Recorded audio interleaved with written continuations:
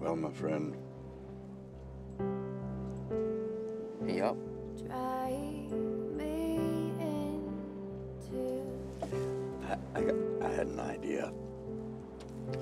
You know, my uh, my mother was an only child, and so was my father, and uh, I was their only child. So I'm gone, I'm the end of the line. My family will be finished. What do you say? You let me adopt you. I could be, uh, say, your grandfather.